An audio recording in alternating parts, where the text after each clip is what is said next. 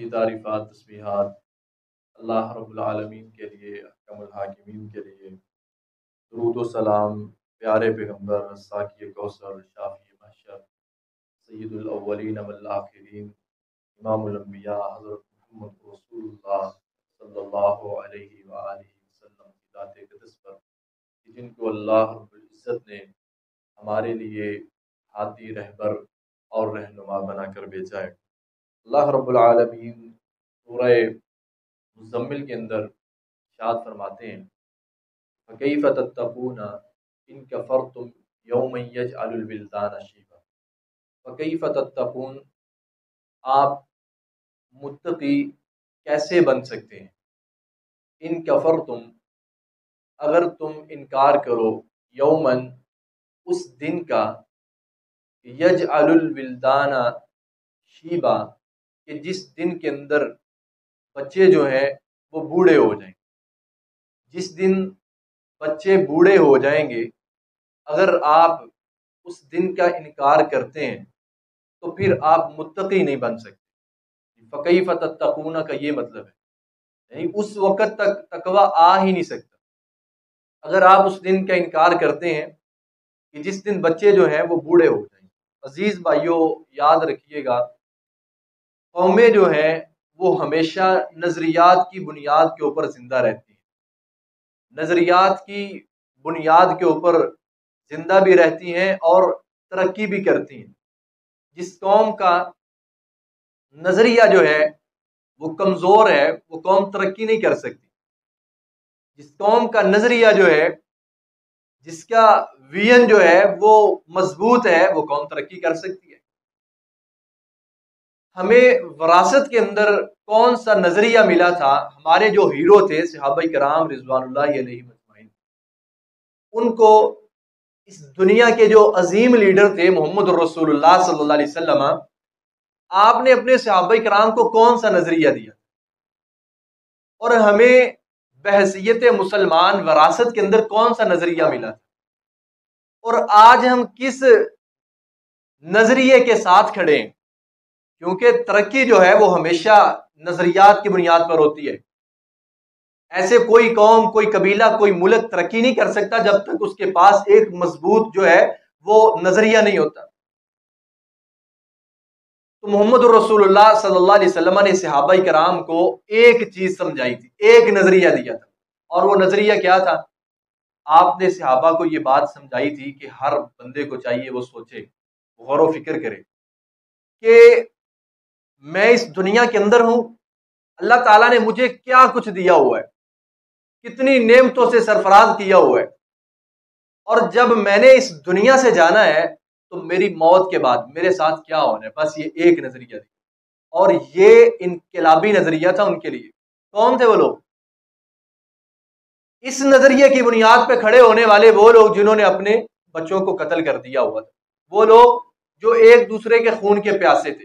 जो जमीनों के ऊपर कब्जे करते थे, जो कत्ल करने के बाद नाश को, मैयत को उठाने की इजाज़त नहीं दिया करते थे, इतनी गिरी हुई कौम जो थी। जब उन्होंने कलमा पढ़ा, एक नज़रिया नबी सलाम ने उनको दिया है कि इस दुनिया से जाने के बाद, मौत के बाद इंसान के साथ क्या होना है, बस इसको सोच ले। इंसान की ज़िंदगी के अंदर तब तक तब्दीली जो है, इनकलाब जो है वो आ ही नहीं सकता अगर इंसान के पास और बिलखसूस मुसलमान के पास जब तक ये नज़रिया ही नहीं है कि मेरी मौत के बाद मेरे साथ होने वाला क्या चार हालतें हैं जो शरीयत ने बयान की हैं। इंसान को चाहिए वो गौर फ़िक्र करे, इंसान को चाहिए वो सोचे कि मौत जो है, ये अच्छे की और बुरे बंदे की कैसे कुरान के अंदर है, अहादीस के अंदर इसकी तफसील मौजूद है। इंसान को चाहिए इस चीज़ के बारे में सोचे, ये मज़बूत नज़रिया यही है कि मौत अच्छे बंदे को कैसे आएगी और बुरे बंदे को कैसे आएगी? फिर मौत के बाद जो कबर की ज़िंदगी है, क़यामत के दिन तक अच्छों को कहाँ रखा जाएगा? उनको क्या मिलेगा? उनको क्या पहनाया जाएगा? उनको कैसे रखा जाएगा? उनको क्या, कौन सी सहूलत दी जाएगी? उनकी कब्र के अंदर क्या क्या कुछ किया जाएगा? अल्लाह की तरफ़ से ऐलान क्या होगा? और जो बुरा बंदा है, उसके साथ कब्र के अंदर क़यामत के दिन तक उसके साथ क्या होगा? इस चीज़ को इंसान सोचे। और फिर तीसरे नंबर पर यह चीज़ है कि जब उठाया जाएगा मैदान माशर के लिए तो किस, यानी अच्छों को कैसे उठाया जाएगा और बुरों को कैसे उठाया जाएगा, ईमान वालों को कैसे उठाया जाएगा, मुनाफिकीन को कैसे उठाया जाएगा, कुफार को कैसे उठाया जाएगा, मुशरकिन को कैसे उठाया जाएगा और वो मुसलमान जो फर्मा बरदार और ताबेदार हैं, उनको कैसे उठाया जाएगा। और फिर उठाने के बाद जब अल्लाह ताला हिसाब किताब को बराबर करेंगे, जब फैसला किया जाएगा, अच्छों को क्या मिलेगा, बुरों को क्या मिलेगा ये चार चीज़ें थी। ये एक मज़बूत नज़रिया था जो नबी सलाम ने सहाबा को दिया। उनकी ज़िंदगी के अंदर तब्दीली पैदा हो गई, निखार आ गया। उनकी ज़िंदगी के अंदर अल्लाह ताला ने उनको दुनिया के अंदर वो वो सर्टिफिकेट दे दिए, वो वो इनामात दे दिए। अल्लाह ताला ने फरमाया, बाद में आने वालों के लिए यही लोग जो है वो मिशल राह है। अगर इनके तरीके को, इनके रास्ते को, इनके मनहज को, इनके नज़रिए को कोई अपनाएगा तो वो कामयाबी पर आएगा, अगर कोई छोड़ देगा, वो जलील रसवा हो जाएगा। ये नज़रिया साहब कराम को नबी इस्लाम ने दिया और आपने क्या फरमाया? सुनो निबने माजा की रिवायत है, नबी इस्लाम ने फरमाया कि मन जालत दुनिया हम मेरे अज़ीज़ भाइयों, ये अहादीस हैं, ये कुरान मजीद की आयात हैं। इनको जरा अपने सामने रखे खुद भी गौर फ़िक्र करें, हर इंसान को चाहिए वो गौर फ़िक्र करे। नबी सलाम ने इरशाद फरमाया कि मन जालत दुनिया हम जिस बंदे के गमों का महवर जो है वो दुनिया है, जिसका जिसका दारो मदार ही दुनिया है जो दुनिया ही जिसके दिल के अंदर खटकती है, दुनिया ही जिसके दिल पर सवार है दुनिया के लिए जो जीता है, दुनिया के हसूल के लिए जो देखता है, दुनिया के हसूल के लिए जो सुबह नहीं देखता, शाम नहीं देखता, मेहनत करता है, बहुत ज़्यादा मेहनत करता है, दुनिया के हसूल के लिए मारे मारे फिरता है, फरमाया सबसे बड़ी सजा उसके लिए ये है जमा हो अल्लाह इसके मामला को फाड़ देगा, इसके मामला को जुदा कर देगा, तफरीक डाल देगा, इसका कोई मामला उसके अंदर आपको बरकत नहीं नज़र आएगी, इसका कोई मामला वो सवर नहीं सकेगा, इसके किसी मामले के अंदर खैर और भलाई आपको नज़र नहीं आ सकती। कौन है वो शख्स? मन जालती दुनिया हम जो दुनिया की वजह से जब भी परेशान हुआ है, दुनिया की वजह से। जब भी तकलीफ़ उठाई है, दुनिया की वजह से। जब भी गम उसके ऊपर आया है, सिर्फ़ दुनिया की वजह से। आखिरत की वजह से वो कभी परेशान नहीं हुआ। आखिरत को याद करके वो कभी नहीं रोया। रोता है तो दुनिया के लिए रोता है, तड़पता है तो दुनिया के लिए बिलकता है तो दुनिया के लिए। औलाद को दीन से दूर रखा हुआ है तो दुनिया के लिए, सिर्फ़ दुनिया के लिए उसने पता नहीं क्या क्या कर दिया। अपने आप को अंधेरों के अंदर, तारीखियों के अंदर गिरा दिया। फरमाया, जिस दुनिया के लिए उसने सारा कुछ किया है जमा उस दुनिया के, उसके जितने मामला इस दुनिया के अंदर है, अल्लाह सबको जुदा कर दे। किसी के अंदर कोई खैर नहीं होगी, कोई बरकत नहीं होगी। फर्रकल्लाह जमा वजा फ़कर बैन जिस फकर को वो दूर करना चाहता था, जिस मोहताजी को दुनिया के पीछे लगकर वो दूर करना चाहता था, जो अमन चाहता था, जो सुकून चाहता था, जो राहत चाहता था, जो चैन चाहता था, जो चाहता था कि आराम से बैठ के खाऊं, आराम से बैठ के खाऊं, पीऊं, सो जाऊँ, मुझ, मेरी ज़िंदगी के अंदर सहूलतें हो। नबी सलाम फरमाते हैं वजा नहीं दुनिया के लिए तमाम तर कोशे काबशे करने वाला अल्लाह ताला उसकी दो आँखों के दरमियान मोहताजी लिख देते हैं, खत्म नहीं हो सकती। इसके पास जितनी मर्ज़ी दुनिया आ जाए, इसकी आँखों के दरमियान अल्लाह ने मोहताजी लिख दी है, वो दूर ही नहीं हो सकती।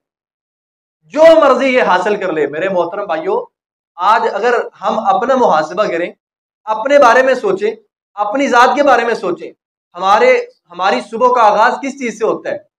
हमारी सुबह का अख्ताम जो है वो किस चीज़ से होता है? जब हम रात को अपने बिस्तर बिस्तर के ऊपर आते हैं तो क्या चीज़ सोच रहे होते हैं? हमारे इसलाफ क्या चीज़ इमाम गजाली रहमा ने हयालूम के अंदर क्या लिखा था? कि जो इंसान सुबह करता है, और सुबह जब वो करता है तो उसके दिल दिमाग के अंदर पहला जो ख्याल है, वो अपनी ज़ात के बारे में आता है, अपनी दुनिया के बारे में आता है, इसको कमा लूँ हासिल कर लूँ चमका लूँ कहते हैं, ये बंदा अंदर से मुसलमान ही नहीं है। ये अंदर से मुसलमान ही नहीं है, इसने इस्लाम को समझा ही नहीं है। इसको पता ही नहीं है कि अल्लाह के रसूल वसल्लम ने कभी भी अशार नहीं पढ़े थे। नबी सलाम सही बुखारी की हदीस है, जब आप अशार पढ़ते तो क्या पढ़ते थे? अल्लाह आयशा आयशा आखिरा मुहाजर। अल्लाह, इस दुनिया के अंदर कोई ऐश नहीं है। कोई ऐश नहीं है इस दुनिया के अंदर। ला आयशा इल्ला आयशल आखिरा, असल ऐश जो है, असल आराम जो है, असल राहत जो है, असल कामयाबी जो है, वो तो आखिरत की है। और हम आखिरत को बुलाए बैठे हमारी तमाम तर अल्लाह ताला ने सूरह कहफ के आखिरी रुकू के अंदर क्या फरमाया? कुल हल बिलखसरीना अमाला कि, ए हमारे नबी, आप कह दीजिए, हल नुनब्बीकुम क्या हम तुम्हें खबर ना दें? बिल अक्सरीन आमाला। के, अमल के एतबार से, आमाल के एतबार से सबसे ज़्यादा खसारे के अंदर कौन है? अमलों के एतबार से सबसे ज़्यादा खसारे के अंदर कौन है?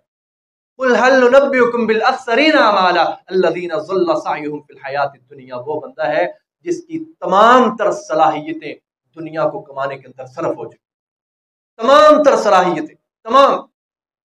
उसकी बोलने की सलाहियत, उसकी देखने की सलाहियत, उसकी चलने की सलाहियत, उसकी पकड़ने की सलाहियत। जितनी अल्लाह ने उसको ताकत दी है, सलाहियतें दी हैं, जितना अल्लाह ने उसको जितने प्यारे जिसम से और पता नहीं अल्लाह ताला ने कौन कौन सी नियमतें दी है। तमाम नियमतों को सिर्फ़ उसने एक रास्ते के ऊपर लगा दिया। और वो रास्ता कौन सा? वो दुनिया है। मेरे अज़ीज़ भाइयों, याद रखना, दुनिया के साथ कभी कोई इंसान खुश नहीं हुआ। ये दुनिया खुशी खुशी के लिए बनी ही नहीं है। यानी दुनिया कमाने के बाद खुशी आ जाए ऐसे हो सकता है। अल्लाह ताला ने कुरान मजीद के अंदर उसूल बयान किए हैं, फरमाया, मन आमिला मिनकुम, मन आमिला मिनकुम मन आमिला सालिहन मिनकुम, कि जो तुम में से मर्द हो या औरत हो नेक अमल करे, वाला नुह यन्नहु हयातन तय्यबा। हम उसे पकीजा ज़िंदगी देंगे, हम बेहतर ज़िंदगी देंगे, हम अमन वाली ज़िंदगी देंगे, हम सुकून वाली ज़िंदगी देंगे। हम उसके दिल को गनी करेंगे, जो नेक अमल करेगा। नेक अमल शर्त है। ये अल्लाह ताला का कानून ही नहीं है कि जो एक तरफ़ भाग रहा है, हम उसके लिए उसकी ज़िंदगी के अंदर आराम और सुकून और राहत रख दें। हमारी दौड़ें किधर लगी हुई हैं? हम किस चीज़ के पीछे भाग रहे हैं? हम तो दुनिया के अंदर इस हद तक आगे गुजर गए। एक तो ये है कि दुनिया के अंदर सारी सलाहियतें सरफ हो जाना। हम इससे भी आगे गुजर चुके हैं। हमारी तमाम तर सलाहियतें दुनिया के लिए सरफ होती हैं और उसके बावजूद फिर भी हम हलाल हराम की तमीज नहीं करते। फिर भी जायज़ नाजायज के दरमियान फ़र्क नहीं करते। फिर नहीं सोचते ये मेरे लिए जायज़ है या नाजायज है। ये मेरे लिए हासिल करना हलाल है या हराम है? किस तरीके के साथ हासिल कर रहा हूँ? कैसे हासिल कर रहा हूँ? किसका माल ले रहा हूँ मैं? ये भी नहीं सोचते। तो नबी सलाम ने बयान फरमाया कि जाल बिन आईने ही जो दुनिया के पीछे भागता है अल्लाह ताला उसके दर, आँखों के दरमियान फ़कर लिख देते हैं मुहताजी लिख देते हैं। लम ताती दुनिया इल्ला उसके पास नहीं आएगी दुनिया मगर सिर्फ़ उतनी आएगी जितनी अल्लाह ने उसके मुकद्दर के अंदर लिखी हुई जितनी अल्लाह ने लिखी हुई उससे ज़्यादा वो नहीं ले सकती। और इंसान का माल भी क्या है? ये जो पीछे इतनी बिल्डिंगे हमारा जो जमा करके चला जाता है ये उसका माल है? फरमाया नहीं जो उसने अपनी जात के ऊपर खर्च किया है, जितना खाया है, जितना पहना है और जितना अल्लाह के रास्ते में खर्च कर दिया ये उसका माल है। पीछे वाला उसका माल नहीं, औलाद नेक है, बद है, जिस तरह की भी है, क्या पता इसके जाने के बाद वो क्या करेगी? इसके माल के साथ क्या करेगी? वो इसके लिए राहत का बायस बनेगा या वो बाले जान बनेगा? क्या पता है?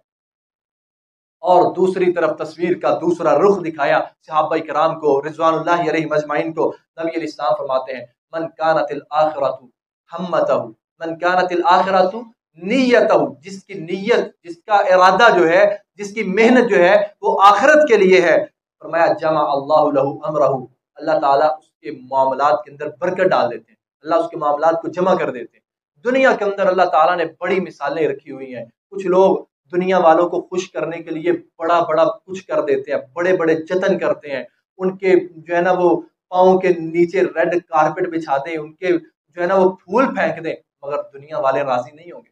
क्यों? रजा ऊपर से उतरती है।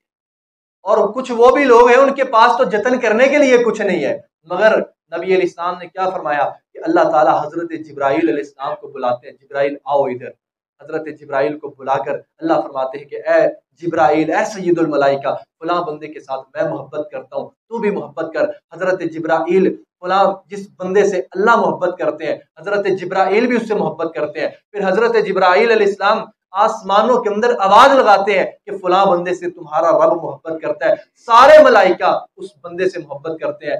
फिर अल्लाह ज़मीन के ऊपर उसकी मकबूलियत उतार देते हैं। हर बंदे के दिल के अंदर उसकी कदर होती है। हर बंदे के दिल के अंदर उसका एहतराम होता है। हर बंदा उसको इज़्ज़त की निगाह से देखता है। उसके पास क्या है? उसने कौन से इतने जतन किए हैं? ये फलसफा नबी सलाम ने समझाया था कि अगर तुम मौत के बाद शुरू होने वाली ज़िंदगी के ऊपर गौर फ़िक्र करोगे, अल्लाह ताला तुम्हारे मामला में बरकत देगा। अल्लाह ताला तुम्हें कामयाब करेगा। अल्लाह ताला लोगों के दिलों के अंदर तुम्हारी मोहब्बत को पैदा करेगा। अगर तुम मौत के बाद शुरू होने वाली ज़िंदगी क्या है? मन कानतिल आखिरत नीयत जिसका इरादा, जिसकी कोशिशें, जिसकी काविशें आखिरत के बारे में है अल्लाह ताला जमा अल्लाह अमरहू, उसके मामलात को जमा कर देंगे। उसको कोई इतनी भाग दौड़ नहीं लगी होगी। ये भी कर लो, उधर भी चला जाऊँ, वो भी संभाल लूँ, वो भी देख लो। जमा अल्लाह अमरहू। अल्लाह उसके वक़्त के अंदर इतनी बरकत डाल देंगे, सही बुखारी में है।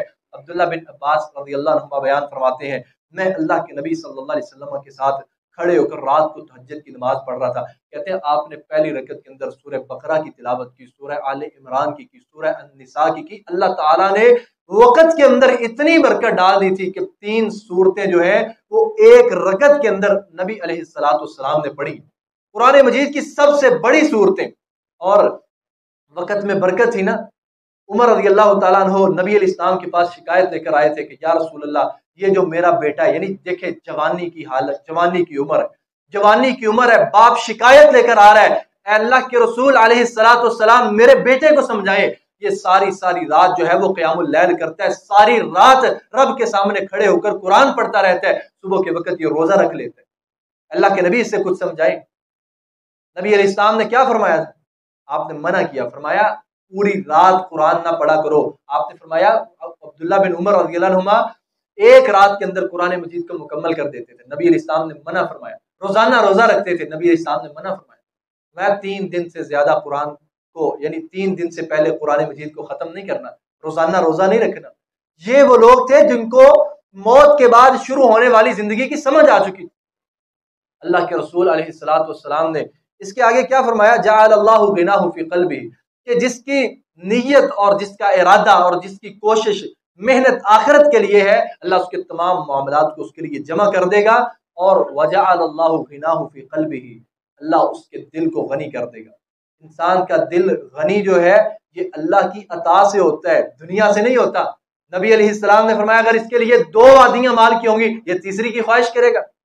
और देख ले, ज़िंदा मिसालें हमारे सामने एक बंदे के पास इतना कुछ है, उसके बावजूद उसकी आँखें उसकी निगाहें जो है आगे की तरफ़। इतना कुछ तो ये फितरत की तरफ़ नबी इस्लाम ने रहनुमाई की है, फितरत की तरफ़ फरमाया, जो दुनिया के पीछे भागेगा, दुनिया उसके आगे भागेगी। जो आखिरत के पीछे भागेगा दुनिया उसके पीछे भागेगी रसूलुल्लाह सल्लल्लाहु अलैहि वसल्लम अपने सहाबा कराम को जिधर देखते कि मेरे सहाबा दुनिया की तरफ़ माए, दुनिया कमाना बुरी बात नहीं है, दुनिया हासिल करना बुरी बात नहीं है। इंसान के पास जितना ज़्यादा, उतना दीन का भी काम ज़्यादा कर सकता है। ये कोई बुरी बात नहीं है, मगर मेरे अज़ीज़ भाइयों, दुनिया से मुराद वो दुनिया होती है कि जिस दुनिया के पीछे लगकर इंसान आखिरत से गाफिल हो जाता है। जिस दुनिया की, जिस रोजी के पीछे लगकर, जिस नौकरी के पीछे लगकर इंसान को पता नहीं मेरी जोहर जा रही है दोस्त अहबाब आए हुए पता नहीं मेरी असर जा रही है।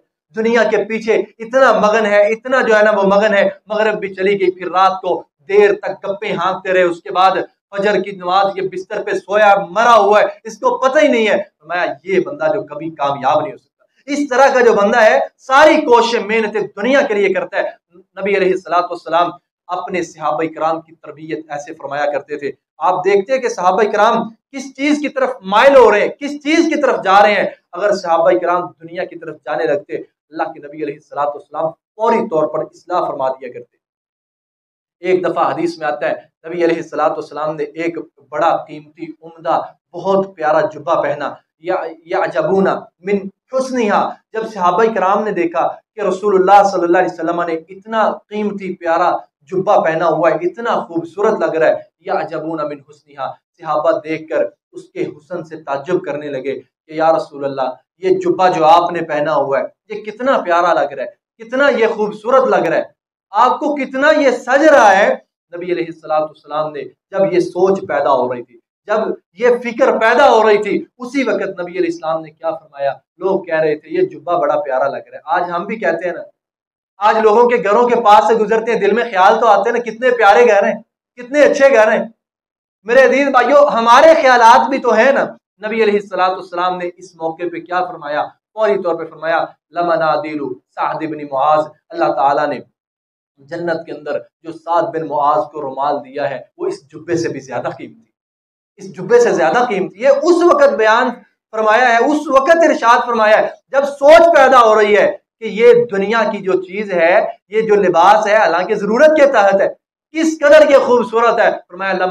साद बिन मुआज को जो अल्लाह ताला ने रुमाल दिया हुआ है, जन्नत के अंदर इस जुब्बे से बहुत ज़्यादा कीमती और दूसरे मुकाम पर आप सल्लल्लाहु अलैहि वसल्लम अपने सहाबा कराम के साथ जा रहे थे। रास्ते के अंदर एक चश्मा आया तो लोग बातें करने लगे कि किस जगह के ऊपर कितना प्यारा चश्मा है, पीने के लिए ठंडा पानी है, मीठा पानी है। तो एक शख्स कहने लगा कि मेरा, एक सहाबी कहने लगे कि मेरा दिल करता है इस चश्मे के ऊपर मकान बना लो, इस जगह के ऊपर मकान बना लो, इतना ये प्यारा चश्मा है। तो नबी अलैहिस्सलाम ने उसी वक्त फरमाया, आपने फरमाया, मेरे सहाबी, अल्लाह ने जो तेरे लिए, अल्लाह ने जो तेरे लिए जन्नत के अंदर मकाम बनाया है, वो इस दुनिया से और जो कुछ इस दुनिया के अंदर है, इस सबसे कीमती है। तो एक चश्मे की बात कर रहे पूरी दुनिया से ज़्यादा कीमती मुकाम अल्लाह ने जो जन्नत के अंदर तेरे लिए बनाया हुआ है, ये सहाबा कराम के अंदर भी तो सोच आती थी ना। सोच बेदार होती थी, मगर रसूलुल्लाह सल्लल्लाहु अलैहि वसल्लम उसी वक्त सहाबा कराम की इसलाह फरमा दिया करते थे। सहाबा कराम को समझा दिया करते कि ये जो तुम्हारे दिल के अंदर और सहाबा कराम भी उमर रज़ी अल्लाह अल्लाह के नबी सल्लल्लाहु अलैहि वसल्लम के पास आते हैं। आप चबूतरे के ऊपर तशरीफ़ फरमाया, हुआ क्या था? सूर्य अहजाब की अट्ठाईस नंबर आयत है। नबी सलाम की अजवाज मतहरात ने नान नफ्ते का, खर्चे का मुतालबा किया अल्लाह के रसूल सलाम से। अल्लाह ताला ने ये पुराने मजीद के अंदर एक सबक जो है वो हमारे लिए उतारना था। हमें सिखाने के लिए, हमें समझाने के लिए कि आपके अजवाज मतहरात ने खर्चे का, नान नफ्के का मुतालबा किया। अल्लाह ताला ने सूर्य अहजाब की अट्ठाईस नंबर आयत नाजल फरमाई।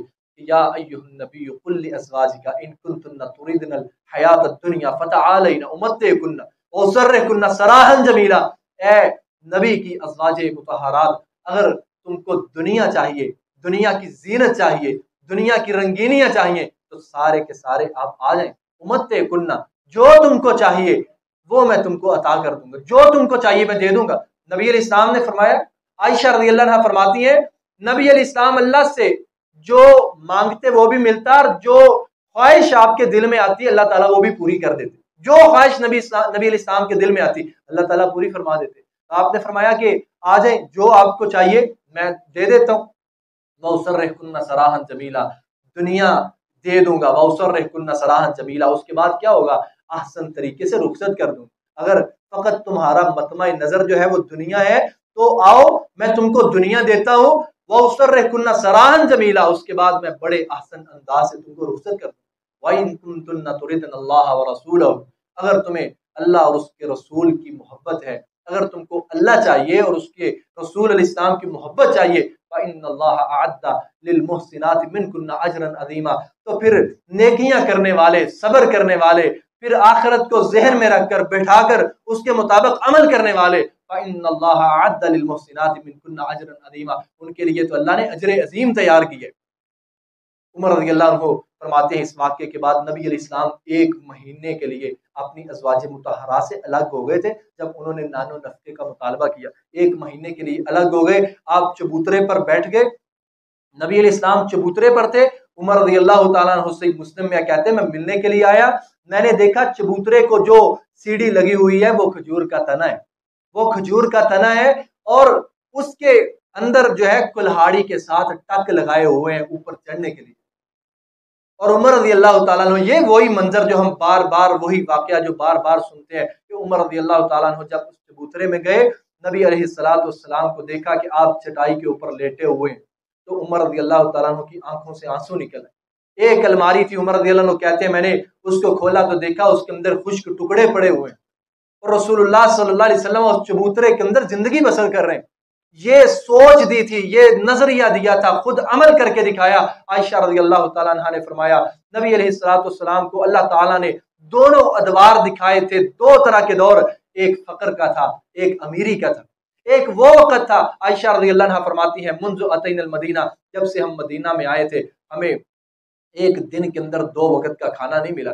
कभी ऐसे नहीं हुआ कि एक दिन के अंदर आप सल्लल्लाहु अलैहि वसल्लम के घर के अंदर दो वक्त खाना खाया गया हो। हम किस कदर ना शुक्रें। कभी ऐसे नहीं हुआ कि एक दिन के अंदर दो वक्त खाना खाया गया हो और दो दो महीने तीन तीन चाँद गुजर जाते थे दो दो चाँद गुजर जाते थे, नबी सलाम के घर के अंदर कभी चूल्हे के ऊपर आग नहीं जलती थी। और फातिमा रज़ी अल्लाह तहा वाक्य कितनी मरतबा सुना है नबी सलाम के पास जब आती हैं आप सल्लल्लाहु अलैहि वसल्लम ने वाक्य तो बहुत लंबा है, आपने कई मरतबा सुना है। आपने फरमाया, क्या चाहिए? फातिमा रज़ी अल्लाह गुजारिश करने लगी कि एक खादिम की ज़रूरत है, एक खादिम की ज़रूरत है। तो आपने क्या फरमाया था? क्या मैं उससे बेहतर बात ना बता दूँ? उससे बेहतर अमल ना बता दूँ?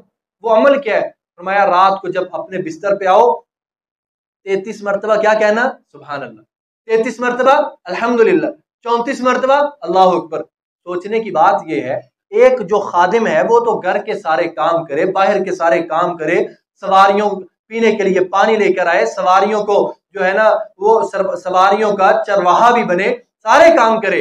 और एक तरफ़ रात को जो है ना वो तैतीस मरतबा सुबह अल्लाह और तैतीस मरतबा अल्हम्दुलिल्लाह और चौंतीस मरतबा अल्लाह अकबर क्या इन, इन दोनों चीज़ों का मुआजना किया जा सकता है? मगर ये अल्फाज नबूवत वाली मुबारक ज़ुबान से निकले हैं एक मुसलमान शक कैसे कर सकते हैं? आप सल्लल्लाहु अलैहि वसल्लम फरमा रहे हैं कि एक खादम के खिदमत करने की बजाय रात को अपने बिस्तर के ऊपर तैतीस मरतबा, अल्हम्दुलिल्लाह, तैतीस मरतबा सुबह अल्लाह चौंतीस मरतबा, अल्लाह अकबर, ये कह देना अफजल है, ये कह देना खादम से ज़्यादा बेहतर है। सोच के अंदर ये बात तो आती है ना, ये बेहतर कैसे हो सकते हैं? ये बेहतर ऐसे हो सकता है इंसान की फजीक के अंदर, जिसम के अंदर, बॉडी के अंदर जितनी ताकत है, ये अल्लाह की तरफ़ से है। और जो इंसान अल्लाह के जितना ज़्यादा करीब होता है, अल्लाह उसको उतनी ज़्यादा ताकत देते हैं। और ये कलमात अल्लाह के इंतहाई करीब कर देते हैं। यही वजह थी कि अब्दुल्ला बिन अब्बास कहते हैं कि नबी सल्लल्लाहु अलैहि वसल्लम, एक रात के, एक रकत के अंदर आपने सूरह अल बकरा भी पढ़ी, आल इमरान भी पढ़ी, अन्निसा भी पढ़ी। अब्दुल्ला बिन अब्बास कहते हैं, मेरा दिल चाहता था मैं नमाज़ तोड़ दूँ। आप सलाम नमाज़ को छोड़ा नहीं है। नमाज़ को इस तरह मुकम्मल किया, वजह क्या थी? कि आप सल्लल्लाहु अलैहि वसल्लम अल्लाह के बहुत ज़्यादा करीब थे और जो अल्लाह के जितना करीब होता है, उसके जिसम के अंदर अल्लाह ताला उतनी ताकत ज़्यादा अता कर देते हैं।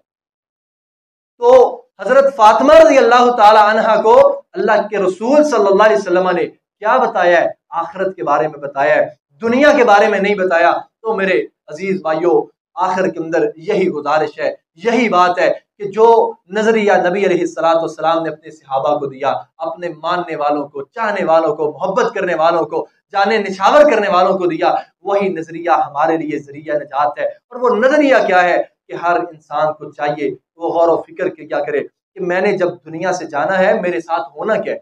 मेरी मेरी मौत के बाद मेरे साथ क्या होगा? बलिल इंसान वाला नफसी बसीरा। हर इंसान को पता है कि मेरे अमल किस तरह के हैं, मेरे साथ क्या होना है। हर इंसान को पता है। और इसीलिए अल्लाह ताला ने फरमाया, या अयोहदीन आमन तकुल्ला वल तंजुर नफ्सुम मा कद्दमत लिगद। कि, ए ईमान वालो अल्लाह से डरो, तकवा इख्तियार करो। और तकवा क्या है? हर इंसान को चाहिए, वो सोचे, उसने कल के लिए क्या भेजा है? अल्लाह ताला से दुआ है। अल्लाह ताला कुरान और सुन्नत को समझने और उस पर अमल करने की तोफ़ी अता फरमाए।